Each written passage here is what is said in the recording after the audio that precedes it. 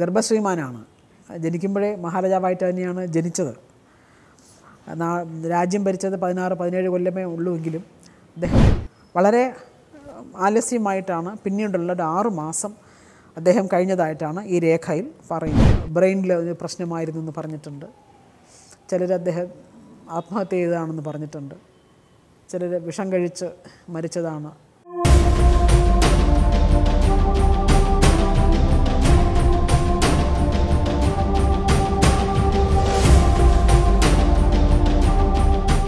സ്വാതി തിരുനാൾ ബാലരാമവർമ്മ.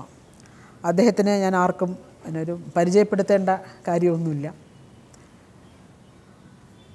എന്നാൽ ഇന്ന് ഞാൻ അദ്ദേഹത്തെക്കുറിച്ച് അദ്ദേഹത്തിന്റെ പല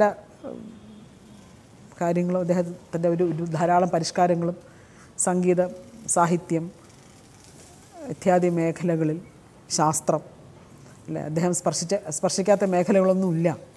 എന്ന് വേണം നമുക്ക് പറയാൻ. അന്നൊരു പക്ഷേ കമ്പ്യൂട്ടറും ഇന്റർനെറ്റും മൊബൈലൊക്കെ ഉണ്ടായിരുന്നെങ്കിൽ അദ്ദേഹം അതും നമുക്ക് തിരുവിതാംകൂറിൽ ഇൻട്രൊഡ്യൂസ് ചെയ്തേനെ. അങ്ങനെ തോന്നിപ്പോവും. അദ്ദേഹത്തിന്റെ സയൻസിലുള്ള ആഭിമുഖ്യം കാണുകയാണെങ്കിൽ.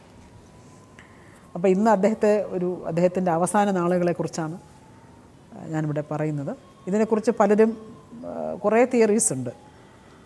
ചില ഡോക്ടേഴ്സ് തന്നെ ഇദ്ദേഹത്തിന്റെ അവസാന നാളുകളെക്കുറിച്ച് എഴുതിയിട്ടുണ്ട്.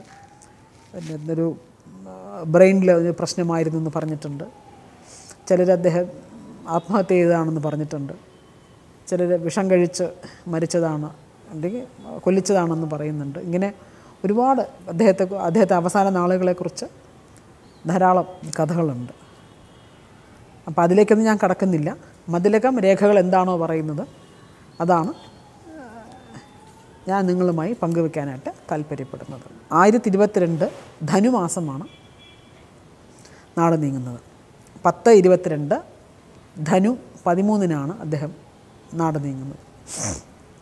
ആയിരത്തി തൊള്ളായിരത്തി ആയിരത്തി സോറി ആയിരത്തി എണ്ണൂറ്റി നാൽപ്പത്തി ആറിലാണ് നാട് നീങ്ങുന്നത്. ഈ നാട് നീങ്ങുന്നതിന് ഒരു ആറ് മാസം മുൻപേ അദ്ദേഹത്തിന് ആരോഗ്യ പ്രശ്നം കണ്ടു തുടങ്ങിയിരുന്നു. പെരുമാൾ കൊട്ടാരത്തിൽ വെച്ചിട്ടാണ് നാട് നീങ്ങുന്നത്. പത്മനാഭസ്വാമി ക്ഷേത്രത്തിന്റെ കിഴക്ക് വശത്തുള്ള പെരുമാൾ കൊട്ടാരത്തിൽ വെച്ചിട്ടാണ് അദ്ദേഹം നാട് നീങ്ങുന്നത്. പത്ത് ഇരുപത്തിരണ്ട് ധനുമാസം ഞായറാഴ്ചയായിരുന്നു. പതിമൂന്നാം തീയതി രേവതി അശ്വതി രേവതി നാൽപ്പത്തിരണ്ടുക്ക് മേൽ അശ്വതി നക്ഷത്രവും എന്നാണ് പറഞ്ഞിരിക്കുന്നത്. പൂർവപക്ഷത്ത് നവമിയും നാൽപ്പത്തൊൻപതര മേൽ ദശമിയും ആയ ദിവസം അസ്തമിച്ച് വെളുപ്പാൻ അഞ്ച് നാഴിക ഉള്ളപ്പോൾ വൃശ്ചികം രാശി നേരത്താണ് നാട് നീങ്ങിയത്. അപ്പോൾ നേരത്തെ പട്ടും കച്ചയും കൊടുക്കുന്ന രീതി ഞാൻ പറഞ്ഞിരുന്നല്ലോ. അദ്ദേഹം മഹാരാജാവായിരുന്നു. ഗർഭശ്രീമാനാണ്. ജനിക്കുമ്പോഴേ മഹാരാജാവായിട്ട് തന്നെയാണ് ജനിച്ചത്. രാജ്യം ഭരിച്ചത് പതിനാറ് പതിനേഴ് കൊല്ലമേ ഉള്ളൂ എങ്കിലും അദ്ദേഹം ജനിക്കുമ്പം തന്നെ മഹാരാജാവായിട്ടാണ് ജനിക്കുന്നത്.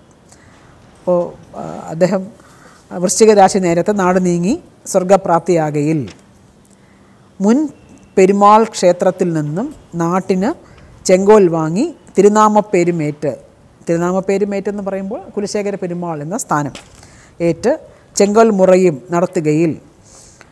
ശ്രീ പത്മനാഭ പെരുമാളുടെ തിരുമേനിയിൽ നാൾവഴി ചാർത്തി വന്ന പട്ടും കച്ചയും. കൊടുത്തതായിട്ടാണ് രേഖ. അപ്പോൾ ഇതിൽ പറയുന്ന ഒരു കാര്യം അതായത് പത്ത് ഇരുപത്തൊന്ന്.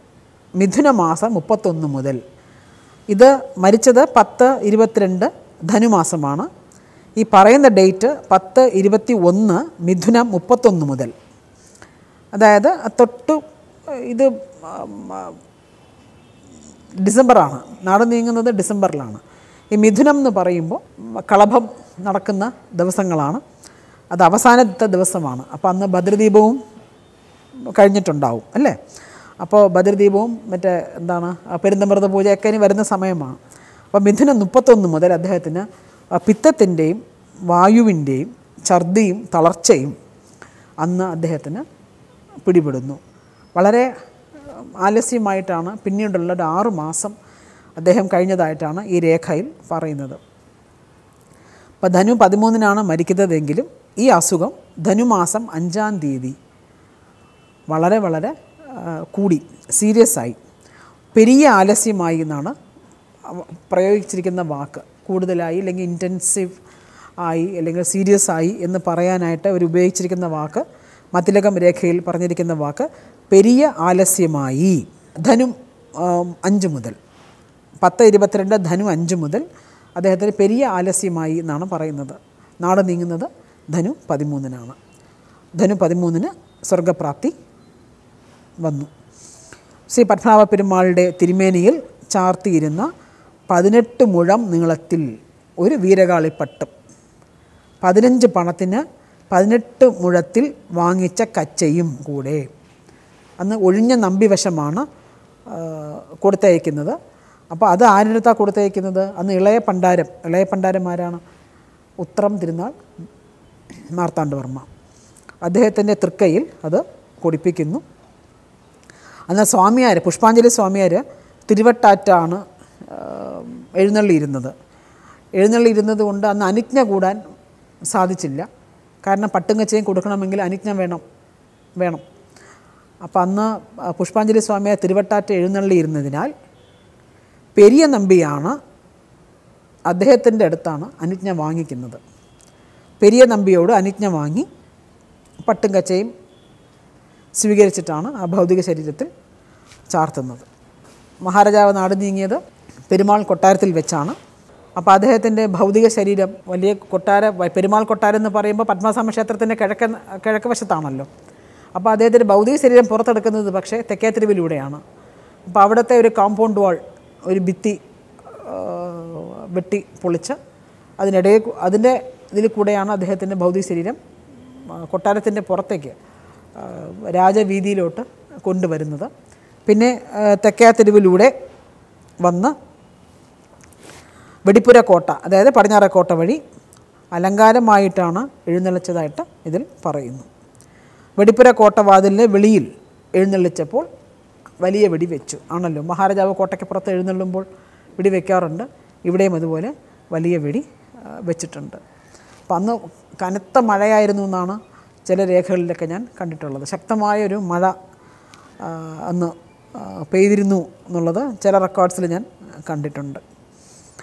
അപ്പം മുപ്പത്തിമൂന്നാം വയസ്സിൽ ഇത്രയും ഒരു സംഭാവന സാഹിത്യ ലോകത്തും സംഗീത ലോകത്തും പിന്നെ ശാസ്ത്ര സാങ്കേതിക വികസനത്തിനും കൂടി സംഭാവന നൽകിയ നമ്മുടെ പ്രിയപ്പെട്ട സ്വാതി തിരുനാളിന്റെ അവസാന നാളുകൾ ഇങ്ങനെയായിരുന്നു.